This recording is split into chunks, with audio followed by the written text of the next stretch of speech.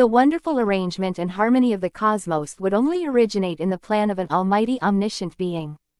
This is and remains my greatest comprehension.